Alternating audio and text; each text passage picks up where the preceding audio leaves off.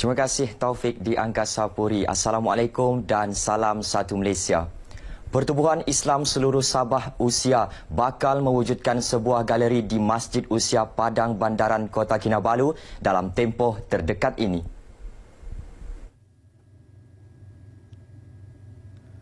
Ketua Wanita Usia Datuk Haji Azizah Haji Muhammad Dun berkata cadangan bagi mewujudkan galeri berkenan akan dimajukan kepada kepimpinan tertinggi usia Tun Dr. Haji Sakaran Dandai untuk dibincangkan secepat mungkin. Pewujudan galeri terbabit penting bagi menempatkan fakta sejarah mengenai masjid tersebut yang dahulunya merupakan sebuah gereja sebelum diambil alih usia pada tahun 1982. Beliau yakin dengan adanya sejarah mengenai masjid berkenaan, umat Islam akan lebih menghargai seterusnya mengimarkan mengarahkan lagi masjid itu dengan pelbagai aktiviti dakwah. Saya rasa ini satu perkara yang bukannya susah sangat mau dibuat. Cuma kita kena tengoklah di mana mau diletakkannya nanti kan. Berapa besar.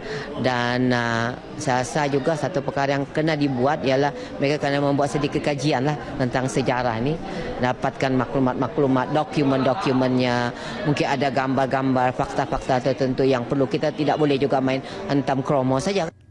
Datuk Aziza ditemui media selepas program pemerkasaan dakwah wanita usia di Masjid Usia, Padang Bandaran Kota Kinabalu. Hadir sama pengasas Pusat Pengajian Tahfiz Al-Quran Ash-Shatibiyah, Masjid Usia Padang Bandaran Kota Kinabalu, Ustaz Hanzala Alayas Julni Alam Haji Amil Lusin. Dalam majlis ini beliau turut menyampaikan sumbangan wang tunai kepada 30 pelajar tahfiz masjid tersebut serta barangan keperluan harian. Penganugerahan Tokoh Mahal Hijrah Peringkat Kebangsaan kepada bekas yang di-Pertuan Negeri Sabah, Tun Dr. Haji Sakaran Dandai, 87 tahun, sempena sambutan Mahal Hijrah 1439 Hijrah Peringkat Kebangsaan di Masjid Wilayah Persekutuan Kuala Lumpur semalam menjadi kebanggaan dan menggembirakan rakyat Sabah. Anugerah tersebut merupakan penghargaan yang layak diperolehi Tun Sakaran berdasarkan kecemerlangan kepimpinan beliau terhadap pembangunan negeri dan rakyat Sabah sebelum ini. Sementara itu, masyarakat yang ditemui pemberita RTM dalam majlis penutupan Festival Hijrah Masjid Bandaraya di Likas, Kota Kinabalu menzahirkan rasa syukur dan gembira dengan penganugerahan tersebut. Bagi pihak pengurusi dan juga semua anggota kuasa negeri Bandaraya ingin uh, merakamkan ucapan setinggi-tinggi tahniah kepada yang berbahagia Tun Datuk Seri Panglima Haji Sakaran Dandai yang telah dinobatkan sebagai tokoh mahijah kebangsaan tadi. Bersyukur kerana Tun telah dianugerahkan tokoh Ma'al Hijrah. Sepatutnya lah memang layaklah sebagai satu tokoh agama, tokoh Ma'al Hijrah. Alhamdulillah syukur.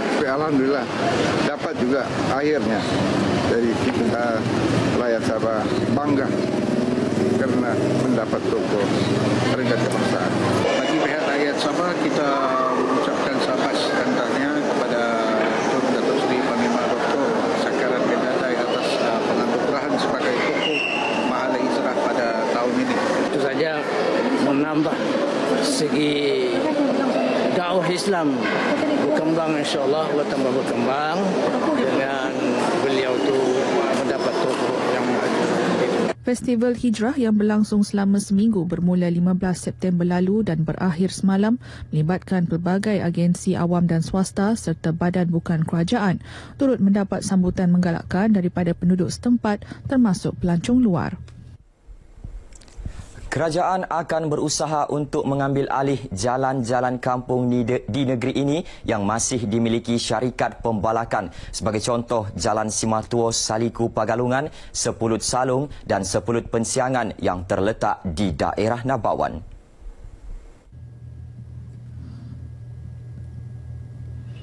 Pembantu Menteri Pembangunan Infrastruktur Datuk Bobby Swan berkata, Kementerian Kemajuan Luar Bandar dan Wilayah KKLW turut menyalurkan peruntukan khas untuk penyelenggara jalan-jalan kampung milik syarikat pembalakan walaupun belum diambil pihak kerajaan sepenuhnya bagi memudahkan penduduk untuk keluar ke bandar dan sebagainya. Mereka ini mungkin tidak faham. Uh, ada yang tidak tahu dengan dasar kerajaan. Jadi seharusnya mereka ini um, apa ini uh, cuba mendapatkan maklumat-maklumat daripada pihak kerajaan ataupun jabatan-jabatan. Yang terdekat sekali adalah jabatan GKR. Daripada kita main rambang saja mau buat viral, viral tidak ketentuan, jadi ini akan menimbulkan salah faham kepada masyarakat kita. Jadi ini tidak baik dan tidak betul. Datuk Bobby yang juga ahli Dewan Undangan Negeri Nambawan ditemui media selepas merasmikan sukan tradisi sempena sambutan Pesta Kalimaran Peringkat Daerah Kecil SUK 2017 yang diadakan di Padang Sekolah Kebangsaan Biah di Keningau. Pelbagai acara diadakan antaranya sukan tradisi, pertandingan bercerita dalam bahasa Murut dan pertandingan Ratu Kalimaran. Seni dan budaya mampu menjadi medan menyatu padukan masyarakat dan menjadi simbolik keamanan sejagat.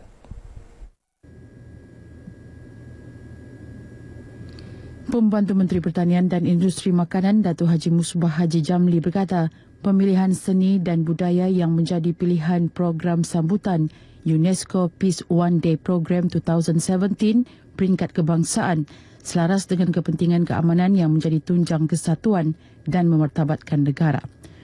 Katanya, program tersebut yang bertujuan memupuk perasaan cintakan keamanan dan perpaduan sejagat melalui pelbagai medium amat bertepatan dalam menyatu padukan rakyat pelbagai kaum dan agama.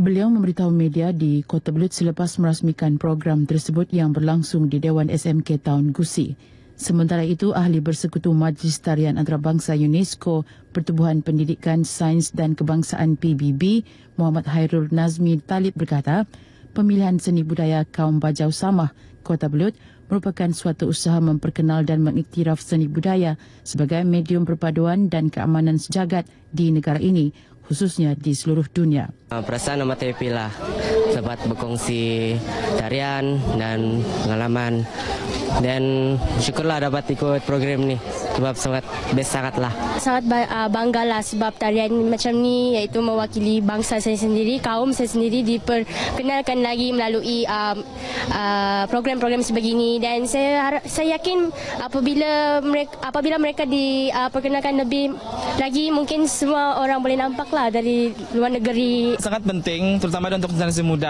Kalau bukan generasi muda siapa lagi yang mau buat nih tarian warisan kaum sendiri. Jadi uh, generasi muda itu penting untuk uh, mewarisi tarian suku kaum itu sendirilah. Dalam majlis tersebut, 30 tanglong dilepaskan ke udara sebagai simbolik keamanan sempena sambutan UNESCO Peace One Day Program 2017 peringkat kebangsaan Kota Belud. Seramai 300 pelajar dari empat buah sekolah menengah di Kota Belud dan Persatuan Belia Kampung Sembirai Kota Belud menyertai tarian limbai beramai-ramai sebagai simbolik mempromosikan keamanan sejagat sempena program sambutan tahunan itu yang disambut serentak di seluruh dunia setiap 21 September. Seorang juragan warga Indonesia mengaku tidak bersalah di Mahkamah Magistrat Tawau Kamis lalu atas tuduhan membawa keluar 50 tong gas memasak ke Sungai Nyamuk Indonesia pada awal September lepas. Tertuduh Firdaus Amir, 20 tahun membuat pengakuan itu selepas pertuduhan dibacakan di hadapan Magistrat Muhammad Faisal Cik Saad. Mengikut pertuduhan pada 8 September lalu kira-kira pukul 5.30 petang, bot jongkong di Pandu Firdaus yang menghala ke Sungai Nyamuk, Indonesia, ditahan bot peronda agensi penguatkuasaan maritim Malaysia Tawau di Sungai Melayu, Pulau Sebatik dan didapati membawa 50 tong gas petroleum cecair LPG berisi 14 kg setiap satu dianggarkan bernilai RM5,330 yang merupakan barangan kawalan berjadual di bawah peraturan-peraturan barang kawalan 1974 yang dibawa tanpa sebarang kebenaran yang sah daripada pihak berwajib dan jika sabit kesalahan boleh didakwa mengikut Seksyen 21 Akta Kawalan Bekalan 1961. Magistrat Muhammad Faisal menetapkan 2 Oktober ini untuk sebutan semula kes dan tidak membenarkan sebarang ikat jamin berikutan tertuduh bukan warga negara Malaysia. Pendakwaan dikendalikan Timbalan Pendakwa Raya Maritim Malaysia Nurul Nazifah Muhammad In Atim. Penganjuran sayembara deklamasi puisi kemerdekaan ke-31 peringkat negeri Sabah 2017 yang diadakan di Dewan Bahasa dan Pustaka DBP Cawangan Sabah, Kota Kinabalu berjaya menarik penyertaan seramai 31 peserta dari seluruh negeri Sabah sekaligus mencatat jumlah penyertaan terbanyak pernah direkodkan dalam pertandingan berkenaan sebelum ini.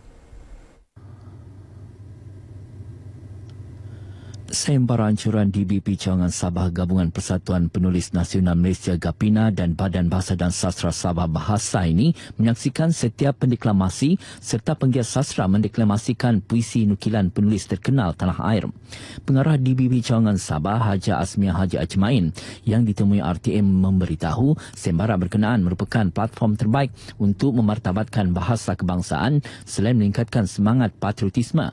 Pada masa sama penyertaan dalam kalangan golongan kalangan muda membuktikan perkembangan yang baik bagi program tahunan ini. Tahun ini turut diperkenalkan bentuk pengucapan puisi ala Gapina khusus untuk puisi bertemakan patriotik. Kebanyakan datang daripada golongan belia ya seluruh negeri Sabah. Ada yang sanggup datang dari Ranau uh, ya dari beberapa tempat. Jadi kita memang menggalakkan penglibatan golongan belia ini ya tambahan dalam keadaan kita mahu mencari pelapis. Kita mengharapkan uh, program ini ataupun uh, sembara deklamasi puisi kebangsaan peringkat negeri Sabah ini akan menarik lebih ramai golongan muda untuk uh, turut, uh, serta dan juga terlibat dalam pendeklamasian puisi kebangsaan sebab ini juga akan menenamkan semangat patriotik di kalangan generasi muda kita. Sementara itu, para peserta yang ditemui menyifatkan pertandingan seumpama ini bukan sahaja platform terbaik untuk terus memantapkan kemahiran mendeklamasi, malah berupaya mengeratkan lagi silaturahim sekaligus mengukuhkan perpaduan. Saya telah menunggu selama 10 tahun. 2008 uh, saya pernah mewakili Sabah ke peringkat uh, kebangsaan dan tahun ini saya bersyukurlah kerana diberi peluang sekali lagi dan semoga kejayaan uh, diperoleh penganjuran program seperti ini sebenarnya dia mampu menjongkil bakat deklamator di di semua peringkat umur lah tidak kira dari sekolah menengah kah ataupun sampai uh, peringkat yang lebih dewasa. Mungkin orang di luar sana mungkin cakap sastra ni sekadar menulis entah apa-apa yang apa luahan kita kan. Padahal di sebalik apa penulisan kita itu ada makna ada makna yang tersirat yang ramai manusia tidak tahu dengan rasa uh, kemerdekaan uh, kita sudah merdeka daripada nenek moyang kita kita harus hayati apa yang telah mereka perjuangkan dari dulu sehinggalah anak cucu kita akan datang Para pemenang menerima hadiah berupa wang tunai, sijil dan buku manakala juara akan mewakili negeri ke peringkat kebangsaan Oktober ini. Seterusnya kita ikuti peristiwa yang berlaku di Sabah dalam diari hari ini.